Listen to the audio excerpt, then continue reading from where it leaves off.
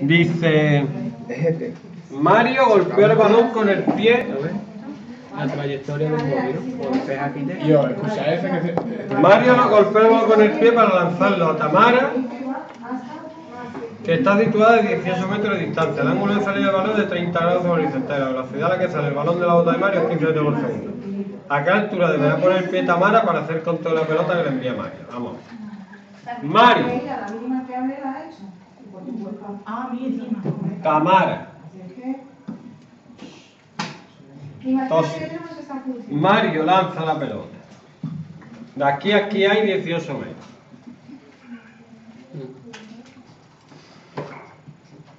La lanza a una velocidad inicial de 15 metros por segundo.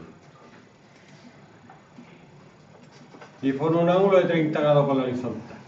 Y tú quieres saber La altura que la niña tiene a qué altura está la pelota cuando llega aquí. Vas a ver si la niña la tiene que parar. Con la rodilla, con el pie levantando un poquito, con la cadera así, con el peso, con la cabeza. Entonces lo que tengo que calcular es la altura, la I, cuando X vale 18. La condición es, La altura a la que choca.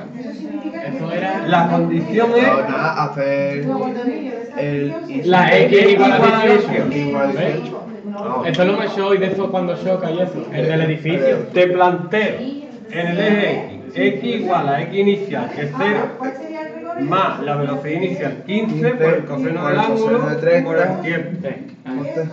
Y ahora, la velocidad en I es la velocidad inicial en I, que es y esto viene aquí. 15 por seno de Por seno de 30 30 menos menos que 9,8.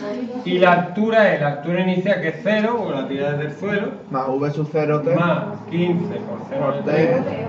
por T menos 4,9 T cuadrado. Ya es un medio de aceleración. Igualamos de los dos. Pues entonces aquí pongo que X vale 18, despejo la T, y la sustituye. Ambos no por la gravedad. Eso, eso. Ya estoy, después sustituye ni, ¿no? Claro, Y ya está. las dos, sí, una publicidad, las dos, que está verdad, este examen es lo que hay que poner la condición y ya está, en verdad. Hay que saber. No, pero es que lo difícil, a mí lo que me resulta difícil son los datos. Una vez que planteo los datos, ya sé Ay, a muy bien. lo he puesto al principio poner la condición y la sustituyo aquí me da. Porque después la ecuación y sustituir con la función será aquí. En ese momento.